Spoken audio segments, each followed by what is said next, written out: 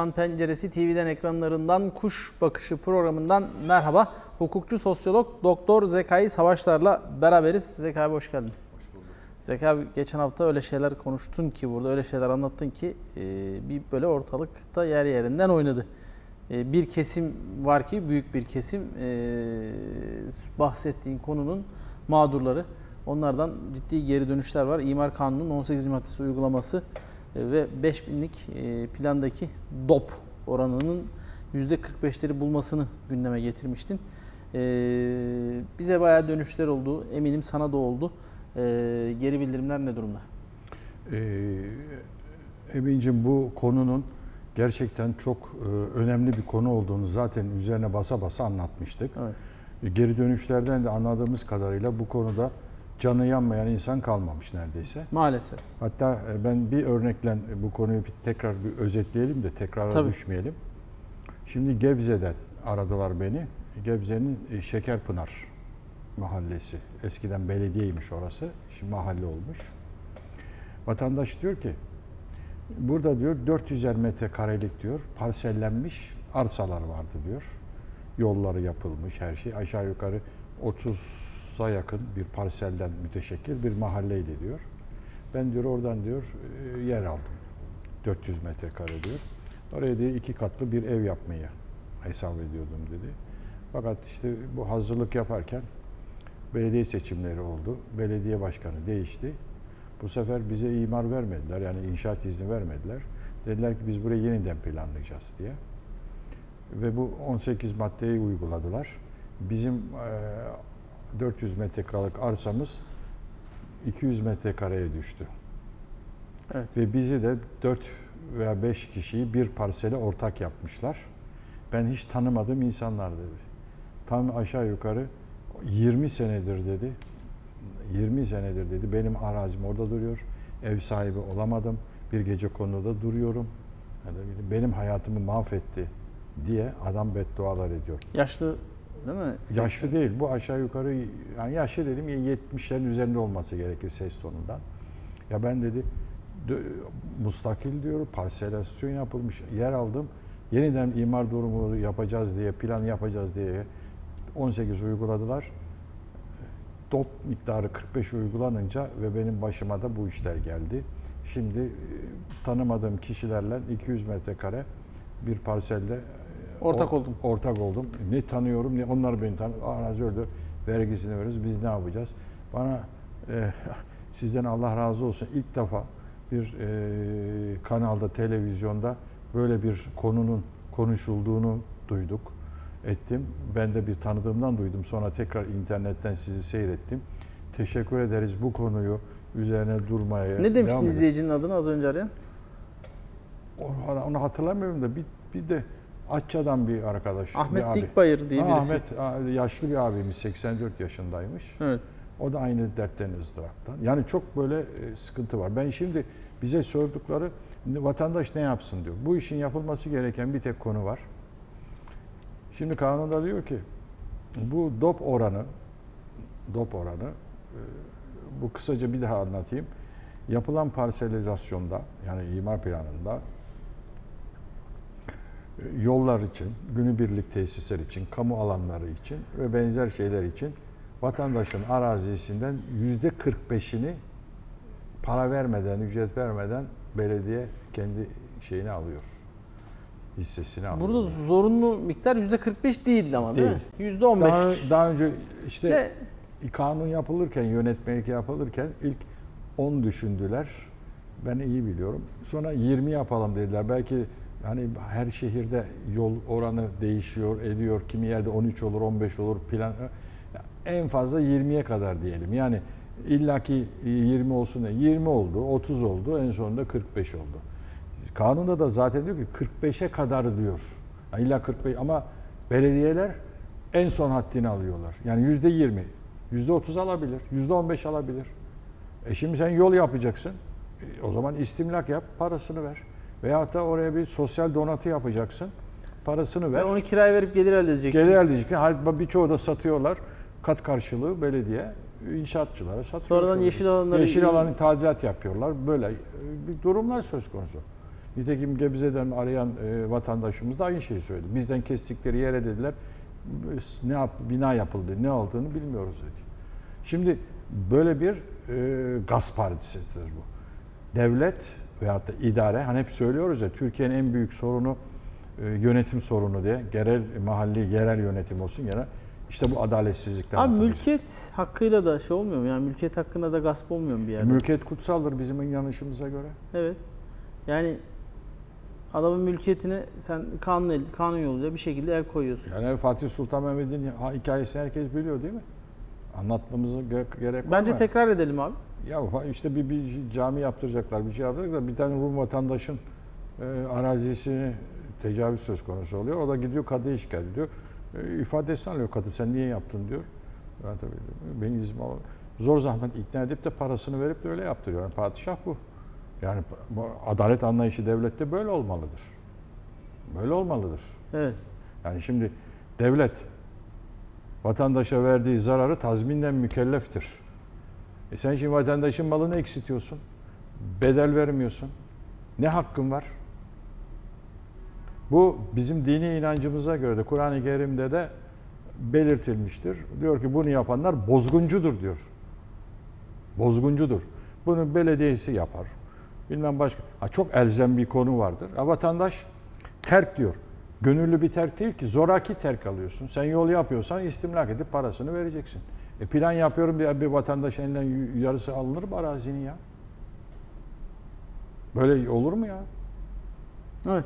Yani şimdi o nedenle vatandaşımızın ha ne yapılması lazım? Bunun yapılması gereken konu bu dop miktarının düşürülmesidir. Bazı yerlerde %45 gerçekten elzem olabilir ama abi. E şimdi şöyle bir şey. Yani Ne- hiçbir şekilde ne parsel olursa olsun yüzde 45 yola gitmezsin. Çok nadir.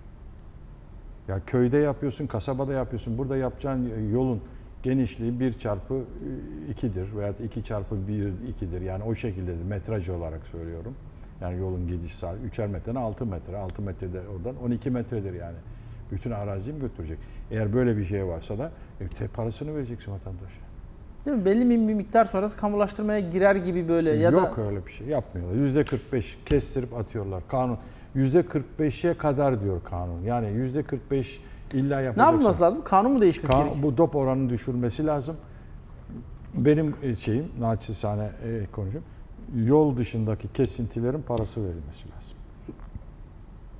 Yolunda mesela yüzde onunu e, bağış, terk, geri kalan bir fazlalık varsa parasını verilmesi lazım. Değil mi? Kan, istimlak kanunda açık 6 ay içinde parayı vereceksin diyor. Evet. Yani bu bu konuda yapılması gereken siyasilere iş düşüyor. Bu maddeyi yani bu kanundaki bu maddeyi 18 uygulaması kanunu vatandaşın canı yanmış araziler elinden gidiyor. İşte e, biz hani bunu dile getirdik. Çok büyük bir sorun ve bu konuda planlama yapanlar, 5000'lik yapanlar, biraz belediyeler ellerine fırsat geçmiş. Efendim senin malının yarısını elinden alıyorlar. Bu hiçbir şekilde hiçbir yönetimde kabul edilmez. Biz komünizm miyiz ya? Böyle şey olur mu? Olmaz. Olmaz. Sen vicdanın rahat ediyor mu? Ha yol yapacaksın tamam gönüllü olarak %10'unu 15'ini alırsın. Vatandaş verir zaten gönüllü olarak. Ama sen yarısını alıyorsun ya. Vatandaş haklı. Bizi araya telefon edenler, yazanlar, özenler haklı. Olmaz böyle bir şey. Kabul edilemez. Onun için siyasilere ahlaki ve vicdani bir sorumluluk düşüyor. Çünkü bu kötüye kullanılıyor. Kanun yetkiyi vermiş ama belediyeler bunu kötü kullanıyor. Acaba yetki sınırlandırması yapılabilir mi? Mesela %10'dan sonrası Evet, için işte işte öyle- bakanlık onayı falan. Yani böyle bir şeyler olabilir. Yani bakanlık onayı değil. Bedel koyacak. Bakanlık da kabul eder kendi partimdendir falan diye olmaz. Diyecek ki yol haricindeki donatılar için istimlak bedelli olacak denilebilir. Evet. Ha, e, galiba biz bu konuyu önümüzdeki günlerde tekrar, Tekrar etmeye devam Yani edeceğiz. vatandaş soru ne yapacağız? Ee, Bu maddenin değişmesi siyasilerin Gerekirse elinde... şunu da yapalım abi. Bu konu özelinde biz e, konunun uzmanı şehircilik e, mühendisi olsun, mimar olsun falan değişik uzmanlarla da konuşalım. Yani bunun Konuşalım. e, başka Bir, siz bir bu işi yüzde 45'i savunan birisi varsa gelsin bizim karşımıza oturup konuşalım. evet Böyle birini bulalım. Ya da buradan açık ilan edelim. Yüzde 45 gereklidir, şarttır diyen varsa gelsin hadi bakalım bu, konuyu tartışalım bakalım. evet. Bu anlamda da e, yasanın değişmesi için meclise de kanun teklifi. Evet yani bu siyasilerin bir e, vicdani bir meselesi olması lazım. Evet. E, Valla vicdan dedin abi, vicdani mesele dedin. E, tam böyle dünyanın vicdanını yaralayan bir mevzu var. Onu seninle konuşmak isterim abi. İşte biliyorsun İsrail e, Başbakanı Netanyahu gitti Amerika Birleşik Devletleri Senatosu'nda konuştu. Ve bazı senato üyelerince ayakta alkışlandı. Kaldı ki Amerika'da İsrail'de yaşanan olaylara tepki gösteren Amerikan halkına da bir sürü hakaretler ettiği bir konuşmaydı o. Amerikan halkını hakaret eden, işte Gazze'de e, on binlerce insanı, binlerce çocuğu katleden Netanyahu Amerika'da alkışlandı. E, Yani Amerikan seçimlerine şurada birkaç ay kaldı. İşte e, Amerikan seçimler öncesi yaşanan bu gelişmeyi nasıl değerlendiriyorsun? Ben bunu tamamen konuşmasını tamamını dinledim. Evet. Ee, ciddi bir şekilde de rencide edici, üzüldüm yani. İki bakımdan üzüldüm. Ee, şu bakımdan üzüldüm. Böyle bir cani adamı dünya lideri olan bir ülkenin demokrasi havarisi kesilen bir ülkenin parlamentosunda alkışlarla hem de ayakta alkışlarla E, sonra sosyal e, dijital medyada okudum. 72 defa alkış almış her cümlesi. Dikkat et. 59'unu ayakta alkışlamışlar. Bu nedir ya? Bu nedir bu? İzahı mı mümkün değil? Ha şimdi bunun işin biraz e, kuş bakışı perde arkasına bakalım bir. Evet nedir abi perde arkası? Şimdi oraya geldi, konuştu ya. Şunu şu mesajı verdi. Durum meşrulaştı mı? Kirli Hayır, çamaşırlar mı yıkandı? Ne oldu? Şu, şu te- Amerika'yı tehdit etti adam. Dedi ki bak ben bunu yapıyorum. Bu işleri yapıyorum. İşte savunuyorum. Rehineler falan filan bir şeyleri söyledi etti. Beni korumazsan beni eğer yolda yarı yoldan dönersen sen de benim kadar suçlusun bu işte. Biz eski suç ortağıyız. Dedi. Sen pro devam edeceksin bu işe dedi. Ve orada dünyaya meydan okudu. Ve şunu söyledi.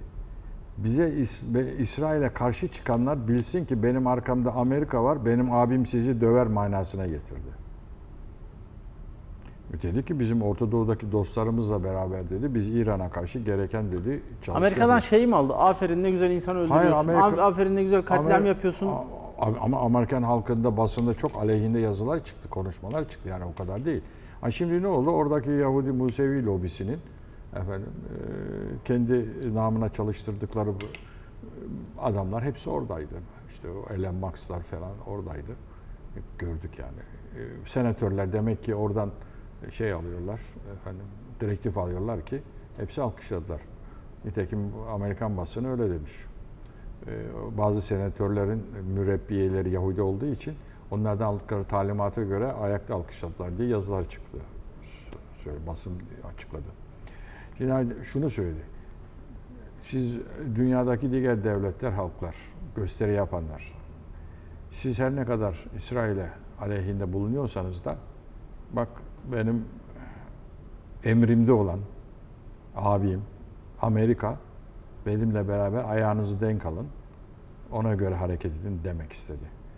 Bunun da açık ifadesi şöyle dedi. Biz dedi Orta Doğu'daki diğer dostlarımızla beraber İsrail'in güvenliği konusunda dedi işbirliğimizi devam ettireceğiz dedi. Daha ne söylesin açık açık söyledi. İşbirliği içinde oldu. Orta Doğu'da dostları var açıkçası. Bir de bir konu daha var. Hani bunu te- teyit eden bir konu. Bak. Herkesin gözünden kaçmış olabilir kirli çamaşırlarını 5-6 bavul götürmüş, orada yıkattırıyormuş. Bu konuşuldu, yazıldı, çizildi. Sen ne demek mu? abi? Evet konuşuldu o da. Nedir yani? Burada şimdi- kirli çamaşır metafor mu yoksa gerçekten kirli çamaşır mı götürmüş? Bir yarı, yarı metafor. Evet. Kirli çamaşırını götürmüş. Ee, Amerika'da her şey otelde de kalsan, bir şey de olsan pa- parayla çamaşırını yıkattırıyorsun gömleğini falan değil mi? Ee, Şimdi mesela e, ama başkanın e, çamaşırlarını Beyaz Saray'da bedava yıkanıyormuş. Öyle bir kuralları varmış onların. Misafir başkanları mı? misafir başkanlar. E şimdi sen de orada gittin, e, kıyafetini yıkattıracaksın. E, Otelde orada burada yıkarlar. Ama sen 4-5 bavul niye götürüyorsun orada e, Amerikan e, baş Beyaz Saray'da yıkansın diye? Neden olabilir acaba? Neden? Neden? Sebebi şu. Benim anladığım. Herhalde e, İsrail'de sular kesik değil değil mi? Evet. Neden orada yıkattırıyor? Şimdi bir evde evin hanımı iş yapmıyorsa evde kim çalışır? Yardımcı elemanlar çalışır. Biz onlara ne diyoruz? Evet. Bakıcı. Hizmetçi. Hizmetçi. diyoruz. Bakıcı. Çamaşırları kim yıkar? Hizmetçi yıkar. Amerika'ya diyor ki sen benim hizmetimdesin diyor. Çamaşır yıkatırken. Oo. Onun manası odur. Bir iki tane gömlek yıkattırmıyor beş aldı. Bu mesaj budur. Benim emrimdesin, benim hizmetimdesin Amerika haddini bil ey Beyaz Saray. Oo. Evet. Oo. Onun manası odur. Peki abi yani e, seçim öncesine denk gelmesini ne diyorsun? Her iki başkana da gitti. Bak ayağınızı denk alın. Hanginiz seçilirse seçilsin. Bana hizmet edeceksiniz. Yola devam. Söylediği açık mesaj bu. Hangi benim için fark etmez. Amerikan derin devleti, Amerika'nın e, menfaatleriyle benim menfaatlerim birdir. Sakın bunu bozmayacaksınız, bozamazsınız. Bu şekilde devam edeceksiniz. Bunun göstergesidir bu. Evet. Ne öngörüyorsun Amerikan seçimleriyle ilgili abi? Konuya döneceğim tekrar. Ya bir şey diyemeyiz ya. Trump sanki orada önde gidiyor galiba. İşte her şey değişebilir bilemiyoruz. Evet. Biden'ın Yani- çekildiği Ya- yarıştan. Kamuoyu yoklamaları falan diyorlar bilemiyoruz. Yani ne çıkar ne gider yani. Biz bizim için değişen bir şey yok. Neden değişen bir şey yok? Amerika'nın politikası değişmiyor ki. Ha e, eşeğin arkasından gidenler, ha filin arkasından gidenler. Hani partilerin sembolleri olduğu için söylüyorum. Gidenler e, iş başına geldikten sonra Türkiye politikası değişmez ki. Aynı. Amerikan politikası değişmez. Onun için hiçbir şey bizim için fark etmez. Evet. Amerika'daki seçimler bizim için Yani fark- bunu bir örnek bir şekilde özetleyeyim mi? Tabii. Sen koyun olduktan sonra ha kasap bıçağı, ha gurdun midesi değişiyor mu? Değişmiyor. Ya önemli olan koyun olmayacaksın kardeşim. Mesele bu. Evet. İlginç. Ee, bakalım. Ee, tabii e, konuşmayı sen detaylıca dinlemişsin abi. Şimdi böyle biraz yorumladık ama e, çıkan mesaj ne? Çıkan mesaj şu. Gazze ile ilgili dedi ki Gazze bizimdir. Biz Gazze'yi tekrar yeniden yapacağız ama güvenliği kontrolünü İsrail sağlayacak dedi. Dolayısıyla oraya el koyduğunu e, ortaya koydu. Açıkça söyledi. Yani tekrar bağımsız olur, tanırsı falan gibi şeyler var ya söylentiler başka devletlerin. Bunun önünü kesti. Çünkü Gazze'nin önündeki gaz yatakları, e, doğal petrol yatakları çok fazla. Dolayısıyla e, oraya bırakacağını zannetmiyorum. Zaten bu operasyonda sebebi bu. Bu bir bu bir ajitasyon operasyonudur. Neden operasyon öyledir? E, dijital medyada dolaşan bir e, şey var. Duydun mu sen de onu gördün mü? O bir hokkabaz vardı hani hapishanede şimdi. Adnan neydi? Oktar. Ha. O diyor ki ben diyor Yahudiyim diyor. Filistin diyor devleti diyor oradan Gazze'den sürüp atılmalı ve orası diyor İsrail'e bağlanmalıdır diyor. O da nasıl olacak diyor. E diyor 5-10 kişiye para verirsin diyor. Bir bomba attırırsın diyor. Onu bahane edip girer siler süpürsün diyor. E aynı oldu. Bu adam kahin değil. Bunu demek ki zamanında söylediler. Çünkü biliyorsun ona Yahudi hahamları geldi. e, Hani madalya taktılar bir şeyler yapmıştı ya o, o Evet. kabazı. Onun için e, şeyi e, efendim bu işin bir proje olduğunu ve projenin arkasında İsrail ve Amerika olduğu şu son neticeden belli. Şimdi başka türlü orayı nasıl el koyacaktı İsrail? Bir sebep arıyordu. Bir rehine meselesini çıkardı. Sebeple aldı ve barışa da yanaşmadı, anlaşmaya da yanaşmadı. Ve orayı e, ele geçirdi. E, maksadına ulaştı. Abi e, Kavala'nın işte tutuklu olması, Adnan Oktar'ın işte şu an tutuklu olması falan Türkiye'nin e, Yahudi dünyasıyla ilişkilerin kötü olduğu sonucu mu çıkartır? Ne yapar? Yok ya değil. Onlar yani İsrail meselesinde en önemli konu bizim Türkiye açısından terör ve PKK'ya destek olmaları, açık destek olmaları. Bizi ilgilendiren konusu odur. Yok, Gazze'deki mesele ikinci derecede Türkiye için e, sıralamada kadar. Yani İsrail terörü desteklemese, yani Türkiye'deki terörü desteklemese, PKK'yı desteklemese e, Türkiye'de İsrail aleyhtarlığı bu kadar yükselmez. Evet. Çünkü Gazze sonradan çıkan, şuradan 5-6 aylık mesele. Ama öteki mesele kaç senedir sürüyor, devam ediyor. O nedenle e, esas e, sebep İsrail'in terörü desteklemesi ve topraklarını genişletmek e, meselesidir. Yani Evet. Büyük İsrail Dağı meselesidir. Yani Netanyahu dünya kamuoyunda e, suçlu e, sayılabileceği, suç atfedilecek hemen hemen her bir konusunu gitti Amerika'da meşrulaştırdı E. Amerika'yı da Amerika'yı da suça bulaştırdı, Suç ortak ortağım etti. dedi. Evet, suç E, ortağı. kendisine hakkındaki nefreti Amerika'ya da Amerikan başkanı da hizmetçi şeyi koydu. statüsüne koydu. Nefret Amerika'nın ne olan nefreti biraz daha arttırdı kendisi. E, İşte buradan sonra artık o şekilde e, devam eder bu iş. Gazze benimdir dedi diyorsun. Evet, evet, Peki tabii. dünya nasıl tepki verir bu işe? Şimdi e, bir Almanya'nın bu konuya e, bakışı var. İşte Avrupa'da farklı şeyler var. Dünyanın değişik ülkelerinden değişik tepkiler geliyor. Ne olur dünya bu bu, bu gelişmeyi nasıl de- değerlendirir? Eğer herhangi bir sonuç olacak olsaydı bu katliam olmazdı. 40 bin kişi öldürülmezdi. Bir yerle bir olmazdı Gazze. Bir tepki koyarlar değil mi? Barış kes. Herhangi bir şey olduğu zaman hemen ateşkes yaptırıyorlar ya başka yerde. Niye Evet. burada yaptırmadılar? Kendileri de aynı İsrail politikasını destekliyorlar da onun için. Evet. E, ilginç abi. E, yani bu konu dünya gündeminde çokça konuşuluyor olacak, sıkça Bunun konuşuluyor olacak. sonucu ne oldu biliyor musun? Evet. Biliyorsun bu Hitler'in e, jenositinden sonra, zulmünden sonra bütün dünya Yahudileri mazlum olarak bir sempati duyuyordu. Gazze hadisesi bu sempatiyi sildi, nefrete dönüştürdü. Değil mi? Bu, bu, bu çok e, söylediğim konu çok e, önemli bir konu. Ahlaki üstünlüğünü kaybetti değil mi? Yani o mazlum, mağdur durumdan şimdi mağrur ve zalim durumuna düştü.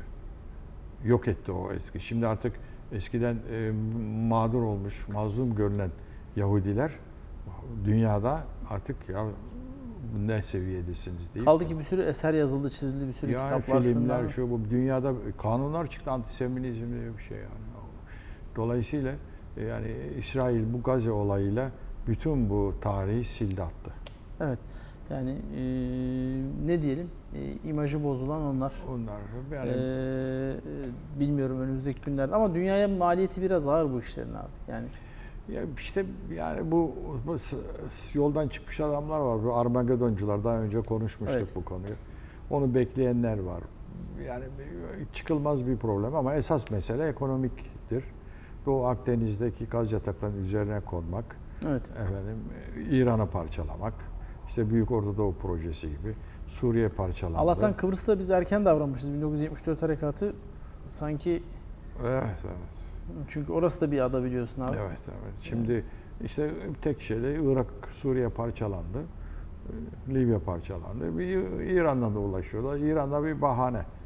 Yani, yani bir bahane. e, Maksat buradaki e, karbon yataklarına yani enerji yataklarına el koymak, stratejik üstünlüğü ele geçirmek yani. Evet. De yok demokrasi getirmek, yok insan Türkiye ciddi manada tehdit eden olaylar ama e bunlar. tabii değil mi? ya doğrudan bizim şeyimizde. Yani. Çok Evet. bizi çok şu terörün Türkiye'ye maliyeti 200-250 milyar dolardır ya. Can can giden canlar hariç. Yani sosyal yapının bozulması bunlar hariç sadece maddi olarak 250 milyar dolardır en aşağı. Evet tabii bugün e, ekonomik e, sıkıntıların had Ya, safhada tabii. olduğu bir dönemde rakamın nedenli önemli olduğu da ortada. E, abi ekonomiden işte e, bahsetmişken, e, paralardan bahsetmişken e, kaybedilen e, son günlerde bir gündem oluştu Türkiye'de. E, Cumhurbaşkanı Recep Tayyip Erdoğan partisinin grup toplantısında Cumhuriyet Halk Partili belediyelerin işte s- Sosyal Güvenlik Kurumu'na, işte vergi dairesine vesaire gibi, maliye gibi borçlarını gündeme getirdi.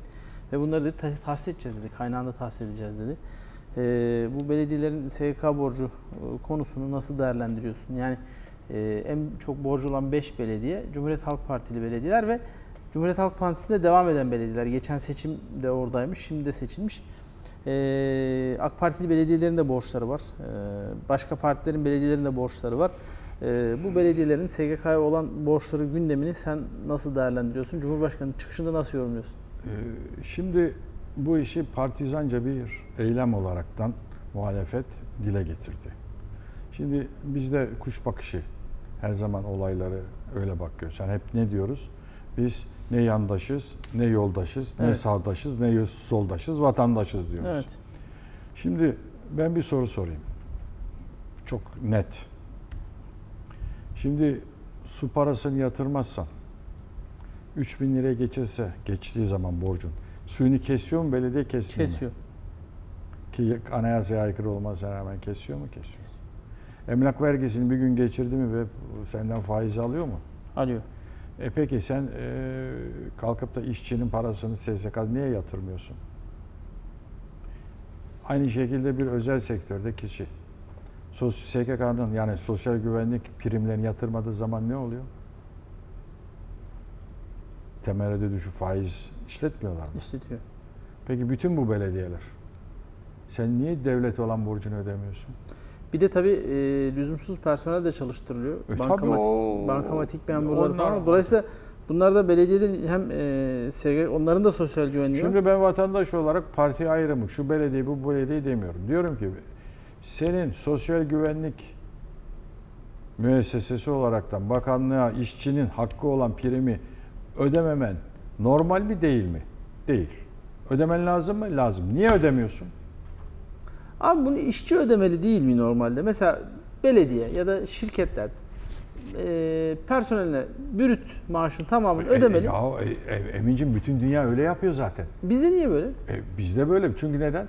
E, bizde çıkan iş kanunu 1964'te Ecevit'in zamanında çıkan kanun biraz daha böyle işçiyi koruyormuş gibi görünüyor ama esasında hiç koruduğu falan yok. Abi bir de bu işin şöyle bir dezavantajı var. Şimdi e, bir şirkette örnek veriyorum işte 20 bin lira maaşla çalışan bir kişi diyor ki bu şirket bana 20 bin lira veriyor diyor. Ben bu şirkete 20 bin liralık diyor sorumluluğum var. Halbuki sen onun vergisini 30 bin lira maliyeti. evet Yani hani vergisi, algısı, şusu busu. kıdem tazminatı Eğer e, şirket e, personeline 20 bin lira değil de 30 bin lira verse, personel devlete karşı yükümlülüklerini, sigorta primini, işte stopaj vergisini, şunu bunu kendisi ödese maaşından, şirkete karşı sorumluluğu 30 bin lira olacak. Şimdi zaten bir gün çalışma ekonomisi programı yapacağız. Bunları detaylı konuşuruz. Dünya öyle yapıyor. Bir tek bizde bu şekilde yapılıyor. Yani vatandaş devlet diyor ki nasıl bakıyor olaya? Ey şirket, ey belediye. Senin çalıştırdığın vatandaş benim malımdır. Bunun diyor net parasını vereceksin. Buna vermen gereken diğer sosyal haklarını ve vergileri de bana yatıracaksın diyor. Yani sana muhasebecilik yaptırtıyor. Sanki seni kendi ele... Ya sen adamın hesabına brütü yatırırsın. Sana ne adam ister sigor, özel sigorta yapar, ister devlet sigortasını yapsın. Bütün dünya böyle ya. Bir tek bizde böyle ya. Ben başka yer görmedim. Evet. O kadar dünyayı gezdim. Bir tek bizde böyle. Evet. Adam e şimdi bu sefer böyle olunca ne oluyor biliyor musun Emin'ciğim bak. Devlet, bu devleti idare edenler öğrensin bunu. Vatandaş diyor ki işçi ya diyor benim diyor icralık borcum var diyor. Sen diyor sigorta parasını diyor, benim elime ver diyor. Ne kadar çok e, kaçak oluyor biliyor musun böylelikle? Tabii. Yani bunu bunu hesap etsen. Halbuki brüt ödeme bankaya brüt ödeme olsa hiç bunların biri olmaz. Evet. Ee, bugün e, Aydın siyasetçilerinden birisi bir paylaşım yaptı sosyal medyasında. AK Parti MerKYK üyesi doçent doktor Umut Tuncer e, dedi ki Aydın Büyükşehir Belediye Başkanı Sayın Özlem Çerçioğlu emeklilere faydanız dokunsun istiyorsanız SGK'ya olan 698 milyon Türk lira borcunuzu ödeyin demiş. Şimdi e, 698 milyon lira Aydın Büyükşehir Belediyesi'nin SGK'ya borcu var. Yani Sonra da Umut Tuncer'e bir sürü tepki de gelmiş. Demişler ki ülkeyi CHP mi yönetiyor falan. Şimdi ülke yönetmekle bunun ne alakası Ya, var? ya burada bakın siyaset ayrımı yapmıyorum. 90 milyar lira bugün devletin belediyelerden alacağı çıktı. Büyük Ona, tabii. Ondan sonra niye emeklilere zam yapılmıyor diyor deniyor. E işte bu yüzden yapılmıyor. Bu yüzden yapılmıyor. Şimdi belediyeler konser düzenleyeceklerine dünyanın parasını oralara, festivallere harcayacaklar. Önce borcunu öde kardeşim. ya. Yo, e, bankamatik personel çalıştıracağına Ya gereksiz, o gereksiz sırala pa- yanlış projeler, ihaleler bunları geçiyorum. Ben hep bunlar bildiğimiz şeyler. Sen önce bir koy şu borcunu öde ya. İşçinin hakkını öde ya. Bakın tekrar 90 milyar lira bugün SSK'nın kasasında para olsa e, emeklilere biraz daha fazla para verir. Demek ki e, yok nasıl versin emekli? E şimdi ben de emekliyim, sen de emeklisin. Aldığımız para belli. Anladın mı? E şimdi sen biz demek ki bizim az para almamızın sebeplerinden bir tanesi de bu belediyenin SGK parasının üstüne yatmasıymış demek öyle anlaşılıyor. Dok- az bir para değil 90 milyardan bahsediyorlar. E şimdi kalkıp da e siz- sizin bu bugün için değil. 3 sene önce, 5 sene önce ödemeyenler de dahildir bu sözüme. Hepsi de bu işte cürüm işlemiştir. Evet. Hepsi de cürüm işlemiştir. Yani bu geçinemeyen emeklilerin hakkını, hukukunu efendim gasp etmişlerdir. Ödeme, öde, ödeyebildiğin kadar. Sonra bunu nasıl yapıyorlar? E benim SGK borcum var. E benim şurada bir tane binam var. Ondan ödeşelim diyorlar. SGK Diyelim ki belediyenin 15 milyon borcu var. 3 milyonluk bir binayı e, 15 milyona SGK'ya iteliyorlar. Hülle yapıyorlar Böyle yani. yapıyor, böyle, böyle de dümenler yapıyorlar. SGK ne işi var gayrimenkullerle alakası yok. Ver bu borcu. O nedenle hükümetin yaptığı, ha birden kesmez, parça parça keser şu. Ama işçinin hakkıdır. İşçinin hakkını ödeyeceksin belediye. Sen kalkıp da böyle kalkıp da gemi gibi siyah arabalarla gezeceğine biraz tasarruf ettir. Öyle mi? Düzgün işler yap. e, borcunu öde, işçinin hakkını öde. Yani öyle şey yok yani. Evet. Bunu bu konuda e, yani e, parti ayrımı yapmadan söylüyorum. Devlet alacağını alır ve bir an önce de alması lazım ki bu emeklilerin e, durumlarında biraz düzelme olsun. Evet. Yani e, büyük rakamlar abi. Ankara Büyükşehir Belediyesi'nin 5,5 milyar borcu var. Bursa rekor kırmış. Evet, Bursa'nın. Ama şimdi burada ne de var biliyor musun? Biraz da bir şey. Bu borç buraya birikinceye kadar zamanın bakanları, genel müdürleri niye hareket etmedi? Siyasi sahiplen hareket etmedi. Onların da kabahati var bu işte. Değil mi? Tabii. O da yani Bizim partili, sizin partili davasından ötürü ne oluyor? Olacak olan emekli oluyor. evet. E, Sosyal Güvenlik Kurumu alacaklarını tahsil ederse emekli maaşlarında daha da tabii iyileştirme olabilir diyorsun abi. Yani bu, sağlık sektöründe her bakımdan faydası olur. Yani devletin alacağı bu yani. Ama sen vatandaş olarak, işveren olaraktan üç gün geç öde hemen senin yazı geliyor. Paranı öde değil mi? Yani. Dolayısıyla bu mantıkla baktığında belediyenin de suyu kesmemesi lazım. Kesmiyor yani böyle bir şey olmaz yani. Böyle bir şey olmaz. Sen şimdi bir kere e, şu çok yani hadi parası olmayıp da ödememe durumu de söz konusu olsa yani bir özel sektör dersin ki anlarsın. Kaldı ki yapılan. belediyenin bütçesi de devletten geliyor zaten. Devletin her şey ortada ya. Ve devletten gelen bu bütçede zaten bunların da payı var yani. İşte Yani bu norm kadro meselesi var belediyede. İşte bir norm kadrosu. İstihap haddi var belediyelerinde. Çalıştırabileceği personel şu an e, normal gelirinin yüzde 30'undan fazlasını personele harcayan belediyelerin hepsi zararda diyorlar abi. E, e, gelir vergisinden hisse alıyorlar yüzde beş. O ilde toplanan bir bir sürü şey. Yani belediye bunu kaç tane ödemiyor? İstese öder. Evet. Şey de bizim partili, sizin partili deyip de bakanlıkta bunlara göz yummuş. Bu noktaya gelinceye kadar bence tahsil edecek olan da, ödeme yapacak olan da m, kamuoyunda benim vicdanımda hepsi de görevini kötüye kullanmışlardır. Suçludur. Olacak olan emekli oluyor. Olacak bu kadar basit. Evet. Ee, tabii Türkiye'nin gündemini meşgul etmeye devam edecek bir konu. E, Bizim gündemimiz hep e, bir şekilde bunlar e, mesela şu an belediyelerin SGK borçları gündem E, ve Türkiye'de uzunca bir süre gündem olmaya devam edeceği benziyor. Cumhuriyet Halk Partili belediyeler bunu darbe olarak algılıyorlar. Cumhuriyet Halk Partisi diyor ki bizim CHP'li belediyeler darbe bu diyor. Darbe midir e, borcu tahsil etmek E istemek? sen belediye seçimlerinden önce bu belediyelerin borcu olup olmadığını bilmiyor muydun? Şimdi enkaz devraldık diyordun. E, enkaz devraldın. Bilmiyor muydun sen enkaz olduğunu? Bunu söylemenin ne manası var? Ama e, ödeyeceğiz diyorlar. E, e, tamam. Yani bunu şey yok. Olabilir. Yani şimdi hükümetin kasası dolu olsa bu kadar bunların üzerine gitmezdi.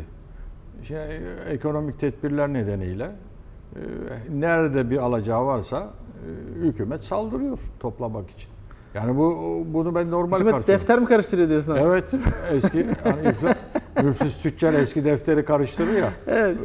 Böyle yapıyor. Her tarafa saldırıyor anlatabildim? Yani parayı almak için yani bunu böyle göreceksin. Yok enkaz devraldık şudur. E bunu biliyorsun sen. Bilmiyor muydun?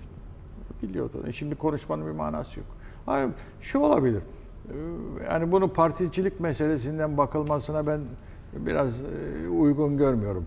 Kardeşim devlet alacağını alsın, kasasını doldursun. Bu zorluk içindeki olan emeklilerde biraz rahatlatacak bir tedbirler alsın. Ben Yani- olayı bu açıdan bakıyorum. Ödemeyen de tahsil etmeyen de bu işin e, sorumlusu diyorsunuz. E şimdi ben size bir şey söyleyeyim. E şimdi borcunu ödeyen belediye enayi mi o, bu, bu sefer? Onu söyle bakalım şimdi. Zamanında borcunu ödemiş, primini yatırmış. Efendim? E bunlar şimdi ödedikleri için enayi mi oluyorlar? Tabii. Ödeyecekler, hiç kimse de ağlamayacak, sızlamayacak. E, savurganlığı bitire- bitirecekler, verim ekonomisi uygulayacaklar idarede. Evet. O yetmiyormuş gibi de öyle e, havaya atılan paraları da efendim biraz kısacaklar, e, tasarruf yapacaklar. Yani belediyeler özellikle bunu nasıl ki vatandaşın arazisinden yüzde 45 almasını biliyorlar ya.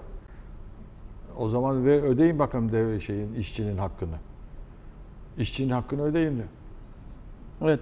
Burada şey mi abi mesela belediyenin e, bu kadar borç yapmasının makul bir açıklaması da yok değil mi abi? Hiç ne yaptın ya. da bu kadar borç oldu yani? Hiç yok. Hani- Yani adam nasıl olsa diyor bakanlık bizden diyor, belediye bizden diyor. Ben de kalkıp da diyor icraya mı koyacak Hani diyor bana. mücbir mücbir sebep diye bir kavram Hiçbir var. şey yok. Yani o bu borç oraya büyüyünce büyüyünceye kadar neredeydi akılları? Evet.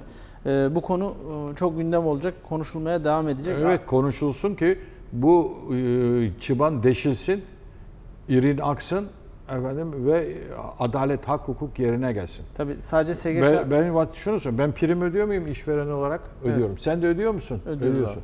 Belediye de bitinde veyahut da kendi şeyinde prim ödeyecek mi? Ödeyecek. Bakanlık adaletli davranacak. Özel sektöre, vatandaşa nasıl davranıyorsa belediyeye de öyle davranması lazım.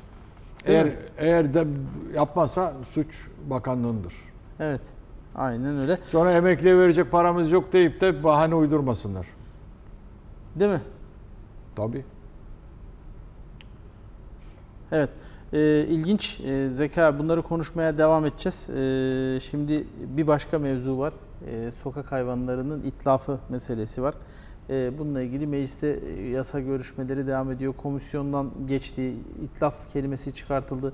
Zaten mevcut durumda e, bu e, hayvanların e, sokak hayvanlarının hastalık halinde şu halde bu halde e, hani onların e, öldürülmesi ya da ne bileyim karantinaya alınması ile ilgili bir takım tedbirler var galiba değil mi? Yani bu kadar tantana kopacak, bu kadar yaygara koparılacak bir durum yokken sen e, bu mevzuyu biz geçtiğimiz günlerde de konuştuk da e, nasıl yorumluyorsun abi? Sanki sokak hayvanları bizim ülkenin bir numaralı gündemi mi olmalı şu an? Ya e, ne diyorum? Ağlanacak halimizi gülelim mi diyorum. Ne diyorum bilemiyorum. Ya ş- Türkiye ateş çemberi içinde. Hani adam demiş ya birine. Ya demiş birader sakalım tutuştu demiş yardım et. İyi madem getir de sigaramı yakıvereyim demiş tamam mı adam? Evet. Türkiye tutuşmuş vaziyette. Kuraklık bir taraftan, enflasyon bir taraftan, geçim derdi bir taraftan, terör bir taraftan, mülteci sorunu var, ambargolar var. Meclis neyle uğraşıyor? Sokak köpeklerle uğraşıyor. Hani Ağlanacak mı, gülünecek mi bu hadise? Söyle bakayım bana. Bazı şöyle e, sokak hayvanları ile ilgili de çok ciddi bir problem var. Ne açısından var biliyor musun abi? Sokak kedileri açısından var. Sokakta e, ki köpekler şu an kedileri katlediyor abi. Kedileri kim savunacak? Hani ben işin şeyini geçtim. Hani e, Yani bu kadar derdin arasında Türkiye'nin gündemini kedi köpek oturması bizim için bir e, zavallılık değil mi? Evet. Yakışır mı Evet. Türk milletine? Bak ben biz aylar önce programda ne konuşmuştuk?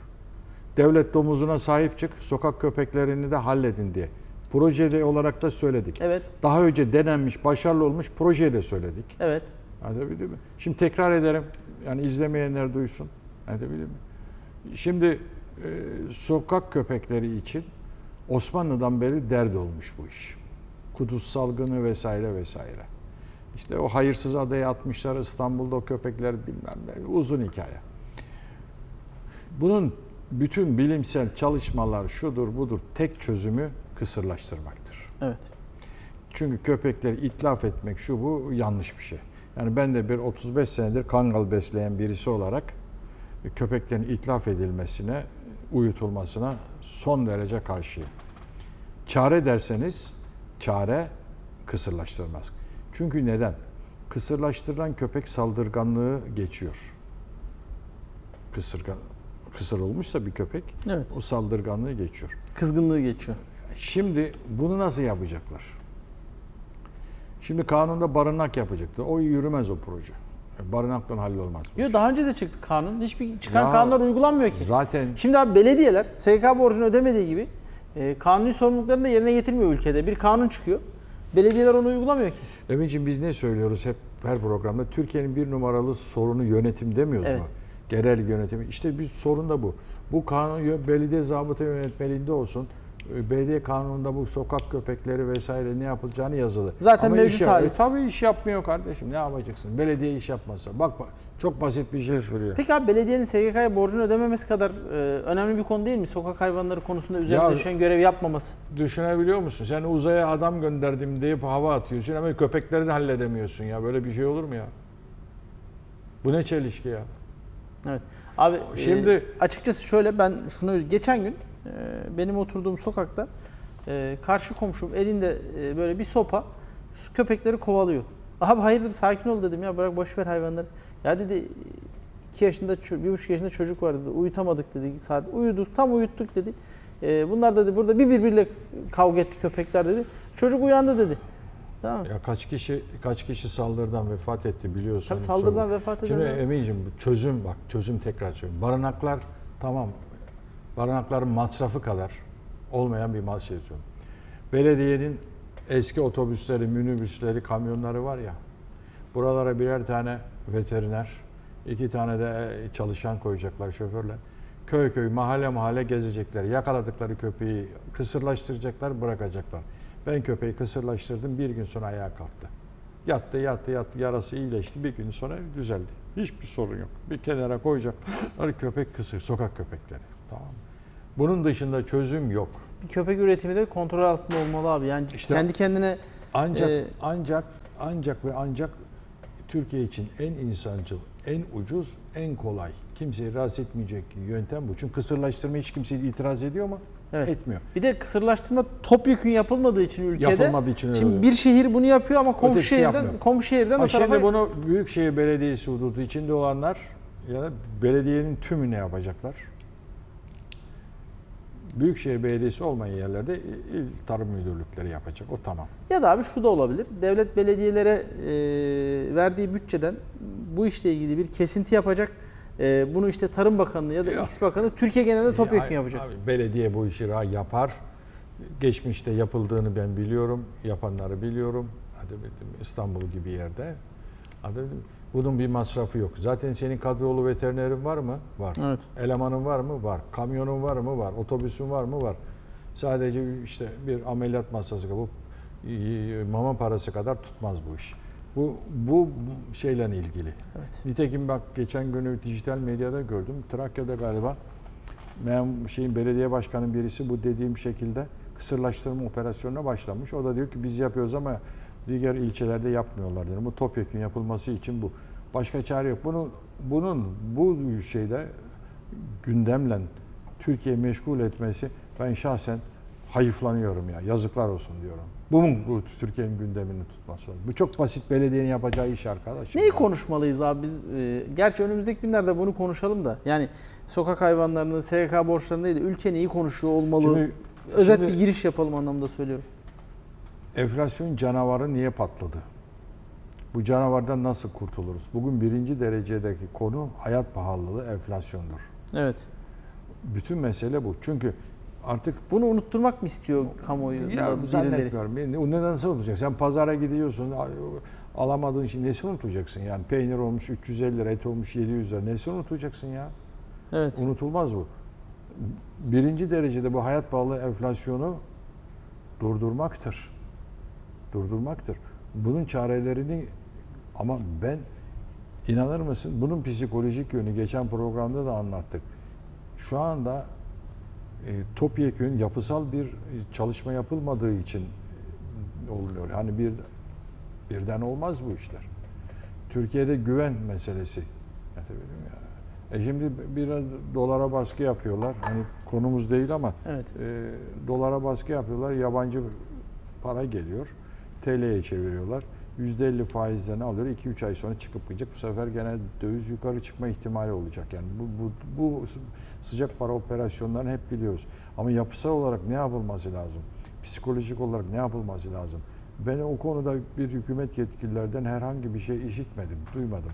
Sadece sıkı para parası, vergilendirme, şu bir falan böyle klasik şeyler konuşuluyor ediyor. Tasarruf tedbirleri. Biz bu tasarruf tedbirlerini 40 senedir dinliyoruz yani. Aynen öyle abi. 48 yıldır dinliyoruz. Ama Türkiye enflasyonla yaşamaya mahkum edilmiş bir vaziyettedir da 1971 senesinden beri Evet. kronik enflasyon devam ediyor. Ama bu bu seferki enflasyon zirve yaptı yani. Evet. Tutulamaz zirve hale Evet. geldi. Zeki abi e, işte ekonomiden e, e, savunmaya, işte sanayiden ticarete, işte birçok konuyu biz burada kuş bakışı bakmaya devam edeceğiz. E, Vatandaşın derdiyle dertlenmeye devam edeceğiz ama bugünlük süremizin sonuna geldik. Yani önemli e, konulara e, Evet, bir toplayacak olursak yorum bir. getirdik. Evet. E, geçen hafta konuştuğumuz imar kanunu meselesini Bir e, birincisi %45 top oranı düşürülmelidir. evet %10'dan fazlasını %10'dan fazlasının bedeli ödenmelidir. Evet, onu Tale- bu vatandaşın e, talebi böyle olsun. evet. Siyasiler de bu konuyu vicdan muhasebesi yapıp halletsinler. Evet. Netanyahu'nun Amerika Ay, Netanyahu senatosunda kendi suçunu Amerika'ya tescil ettirdi ve onlara dedi ki siz benim hizmetimdesiniz, Suç çamaşırlarımı yık- yıkayın dedi. dünyaya da Hizmetçimsiniz dedi. Gazze bizimdir mesajı. Gazze bizimdir dedi. Zaten dedi işte dedi boşuna dedi uğraşıp durmayın bak Evet. benim Amerikalı adamlarım sizi sonra şöyle yapar böyle yapar demek istedi. Evet, belediyenin SGK'ya ve diğer devlet o kurumlarına... borçlu borçlu adam suçludur. Evet. Bu atasözü. Borçlu suçludur. Belediyeler borcunu ödeyecek. Nasıl ki özel sektördeki vatandaş borcunu ödüyor. Ödemezse SGK kapısını Evet. gelip haciz yapıyor. Belediyede ödeyeceğiz. Hangi belediye olursa olsun. Evet. Geçmişte şöyleymiş böyleymiş laf yok. Ödesin borcunu. Sokak hayvanları meselesi de aslında çok Sokak basit bir mevzu. Bu kadar gündem Bu olmamalı. Belediyeler mevcut yasaları uygulasınlar sorun yok diyorsun. Evet Türkiye'de bizim söylediğimiz en önemli sorun nedir diye cevabı yönetim diyoruz. Yönetimin acizinden ötürü de bu sokak köpekleri de problem olmuştur. Eğer bir yerde sokak köpeği problemi varsa orada yönetimsel problem vardır Aynen diyorsun. Oradaki belediyeler iyi yönetilmiyordur. Evet. Evet. Ee, çok teşekkür ederim abi bu haftalık değerlendirmeler için. Önümüzdeki hafta tekrar beraberiz. Evet sevgili izleyenler bir kuş bakışı programının daha sonuna geldik. Hoşçakalın.